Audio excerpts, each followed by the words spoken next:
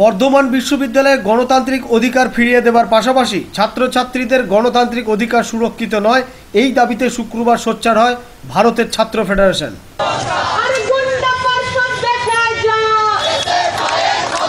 আরে টিএমসিপি দেখা যা আরে আরে বিসি দেখা যা আরে মমতা দেখা যা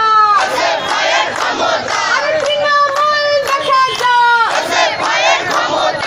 এদিন তারা পার্কাস রোড থেকে বর্ধমান বিশ্ববিদ্যালয়ের রাজবাটি প্রশাসনিক ক্যাম্পাস পর্যন্ত এটি মিছিল করে।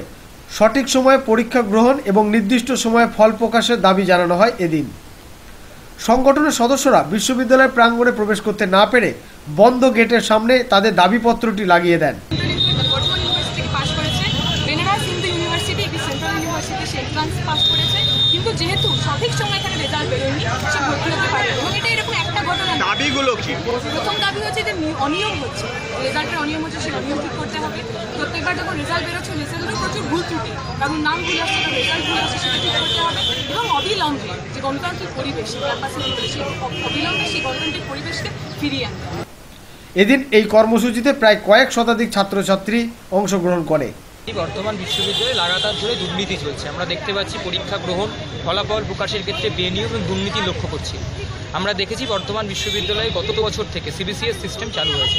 সেই সিবিসিএস সিস্টেম চালু হওয়ার পরপর আমরা দেখতে পাচ্ছি বিভিন্ন সেমিস্টারের ফল প্রকাশের ক্ষেত্রে বর্তমান বিশ্ববিদ্যালয় ব্যাপক পরিমাণে বিলম্ব ঘটাচ্ছে। তারা সেকেন্ড সেমিস্টারের পরীক্ষা হয়ে যাওয়ার পরও ফার্স্ট সেমিস্টারের পরীক্ষা নিতে পারছে না। একই সঙ্গে দেখতে পাচ্ছি বর্তমান বিশ্ববিদ্যালয়ের ভর্তি প্রক্রিয়াতে, স্নাতক বা স্নাতকোত্তর স্তরের ভর্তি প্রক্রিয়াতে ব্যাপক পরিমাণে দুর্নীতি এবং স্বজন পোষণ চলছে, অর্থের বিনিময়ে ভর্তি প্রক্রিয়া চলছে। আর বর্তমান বিশ্ববিদ্যালয়ের স্বাধিকার বর্তমানে জীবাশ্মে পরিণত হয়েছে। বর্তমান বিশ্ববিদ্যালয়ের স্ট্যাটুকে মেনে কোনো রকম পদক্ষেপ বর্তমান বিশ্ববিদ্যালয় কর্তৃপক্ষ গ্রহণ করছে না। তারা নিজেদের ইচ্ছা মতো যা খুশি গ্রহণ করছে, তাই আমরা মনে করছি, এই বর্তমান বিশ্ববিদ্যালয়ে সাধারণ ছাত্রছাত্রীদের বর্তমান বিশ্ববিদ্যালয় আর নেই। এই বর্তমান বিশ্ববিদ্যালয় তৃণমূলের দালালদের বর্তমান বিশ্ববিদ্যালয়ে পরিণত হয়েছে। আর এখানে বর্তমান বিশ্ববিদ্যালয়ের ভিসির কাছে যতবার আমরা এসেছি ভিসি বিভিন্ন কারণ দেখিয়ে আমাদের কাছ থেকে সরাসরি ডেপুটেশন নেয়নি। আমরা এইবারও জানতাম বর্ধমান বিশ্ববিদ্যালয় এর ভিসি আমাদের ভয়ে চলে যাবে। কালকে আমরা শুনতে পেলাম বর্ধমান বিশ্ববিদ্যালয়ের ভিসি চলে গেছে। তাই আমরা এই বর্ধমান বিশ্ববিদ্যালয়ে ঢুকিনি। আমাদের ডেপুটেশন কপি, সেই ডেপুটেশন কপি আমরা এখানে ঝুলিয়ে দিয়েছি।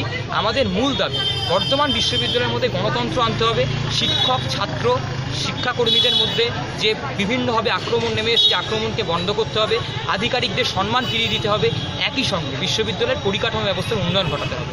আমরা এই দাবিতে বর্ধমান বিশ্ববিদ্যালয়কে এই নৈরাজ্যের হাত থেকে মুক্ত করার জন্য বর্ধমান বিশ্ববিদ্যালয়ের ছাত্রছাত্রীদের স্বাধীনতার জন্য গণতন্ত্রের জন্য আজকে বর্ধমান বিশ্ববিদ্যালয়ে এসেছিলাম। আমরা আমরা আজকে আমাদের যে দশ দফার দাবি আমরা টানিয়ে দিয়ে গেলাম। আমরা সাধারণত পথ বারবার বলছি আমরা মনে করি এই বর্ধমান বিশ্ববিদ্যালয় আমাদের বর্ধমান বিশ্ববিদ্যালয়টা আমরা অবস্থান করেছিলাম সেখানে বেদিও আমরা শহীদ বেদি না আমরা বর্ধমান বিশ্ববিদ্যালয়ের স্বাধিকার শহীদে পরিণত হয়ে গেছে। আমরা স্বাধিকারের শহীদ বেদি নিয়ে এসেছি। কি মনে হয় যে যদি আগামী দিনে তোমাদের যে দাবি দেওয়া রয়েছে, সেগুলো যদি কোনো সলিউশন না বেরোয় সেক্ষেত্রে আমরা বর্তমান বিশ্ববিদ্যালয়ে দু সালের পর থেকে আমরা দেখছিলাম সাঁত্রিশ খানা ডিপ্রেশন দিয়েছি বর্ধমান বিশ্ববিদ্যালয়ে যা অবস্থায় ছিল, আমরা প্রতিবার এসেছি। আমাদেরকে আশ্বাস দিয়েছে। আশ্বাস দিয়েছে, ভিসি ঘরে ডেকে নিয়ে গেছে শুধু আশ্বাস দিয়েছে, আশ্বাস দিয়ে ছেড়ে দিয়েছে। আমরা মনে করি, এই বর্ধমান বিশ্ববিদ্যালয়ে ভিসি পুরোপুরি স্বজন পোষণে একদম পুরো ডুবে গেছে। তিনি পিরিয়ডিক্যালস ডিপার্টমেন্টে যাকে নিয়োগ করছেন, তার পিরিয়ডিক্যালস ডিপার্টমেন্টের কোনো রকম দায়িত্ব নেই, তাকে নিয়োগ করা হচ্ছে। আমরা মনে করি, একদম জেএনইউ থেকে শুরু করে বর্ধমান বিশ্ববিদ্যালয়, সমস্ত জায়গায় এক রকম একরকম পরিকল্পনা চলছে। ছাত্রদের কথা ভাবে না কর্তৃপক্ষ। ছাত্রদের কথা না ভেবেই পদক্ষেপ গ্রহণ করে। কিন্তু আমরা এসে পাই ছাত্রদের স্বার্থে, ছাত্রদের দাবি দাবা নিয়ে আবার আসব। যদি এই দাবি না মেনে, আজকে মিছিল নিয়ে এসেছিলাম একটা সংক্ষিপ্ত মিছিল। এরপরে পুরো জেলাকে ডেকে এই মিছিল এখানে আমরা নিয়ে বর্ধমান থেকে কৃষ্ণ শাহ রিপোর্ট, আনন্দ বার্তা।